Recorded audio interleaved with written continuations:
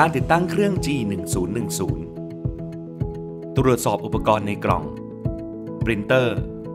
ตลับหัวพิมพ์ ขวดหมึก สาย power สาย USB แผ่น CD-ROM คู่มือการใช้งาน ขั้นตอนการติดตั้งแกะสติกเกอร์สีส้มออกให้หมด เปิดฝาปรินเตอร์ขึ้น แล้วเปิดตัวล็อกหัวพิมพ์ ใส่หัวพิมพ์สีลงไปในช่องสี หัวพิมพ์สีดำลงในช่องดำ อย่าสัมผัสบริเวณหัวพิมพ์ ปิดตัวล็อกหัวพิมพ์ลง กดปุ่มล็อกหัวพิมพ์ทั้งสองอัน จากนั้นทำการเปิดเครื่องพิมพ์ ยกฝาครอบหมึกขึ้นทั้งสองด้าน เปิดจุกหมึกออก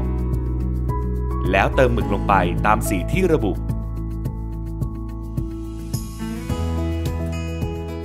เมื่อเติมเสร็จแล้ว ปิดจุกหมึกพิมพ์ให้เรียบร้อย ตรวจสอบให้แน่ใจว่าแน่นทุกสี ปิดฝาปรินเตอร์ลง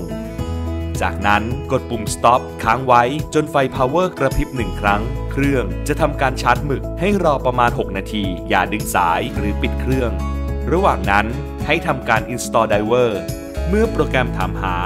ค่อยเสียบสาย USB เมื่อชาร์จหมึกเสร็จเครื่องจะพร้อมใช้งานคำแนะนำในการติดตั้ง อย่าดึงสาย หรือปิดเครื่อง